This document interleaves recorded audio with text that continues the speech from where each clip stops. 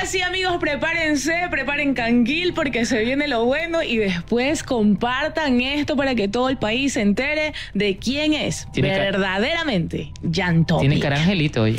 Le dicen Rambo por ser un soldado de guerras pasadas y sacar pecho en su Instagram de aquello. Hasta hace poquito, porque ya borró todo, incluso aquello en lo que se burlaba de los derechos humanos. Ha combatido en Ucrania, Siria y África. Le dicen Bukele ecuatoriano por afirmar tener un plan de seguridad para salvarnos a todos. Le dicen correísta, porque junto a su padre es investigado en un escandaloso caso de lavado de activos del sonado Odebrecht. Le dicen derechoso porque ha sido empresario de una de las más importantes empresas de telecomunicaciones del país.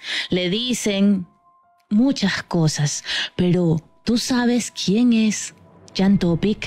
Deja que la defensa te lleve a conocerlo.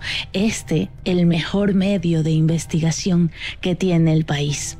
Topic tiene 40 años y según el registro civil, dos cédulas a su nombre. Con la primera no presenta pagos de impuesto a la renta en el servicio de rentas internas y con la segunda se puede sentir su poder.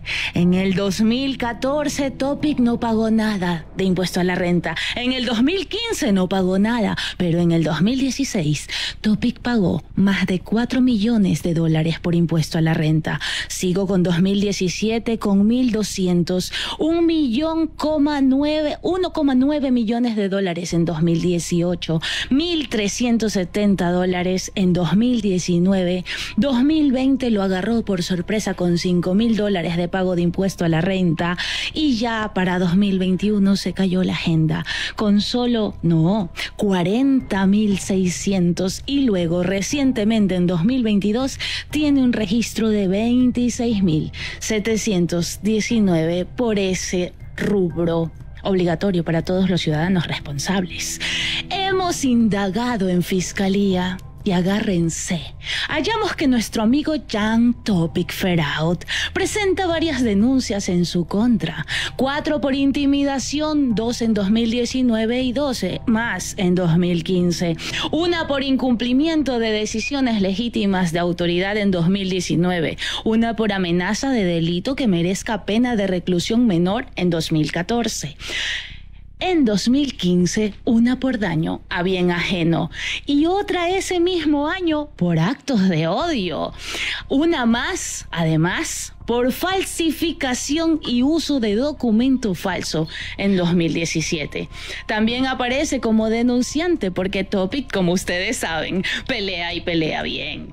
Ha puesto denuncias por robo, por hurto, por abuso de confianza, por perjurio y hasta por falso testimonio, según el historial. Con el Consejo de la Judicatura, en cambio, tiene otras cuantas demandas, varias de ellas por pago de haberes laborales, indemnización por despido intempestivo, medida cautelar, controversias en materia de contravención y hasta un proceso de lavado de activos del que ya hemos hablado con anterioridad. En la CTE, Topic posee dos multas por exceso de velocidad este año.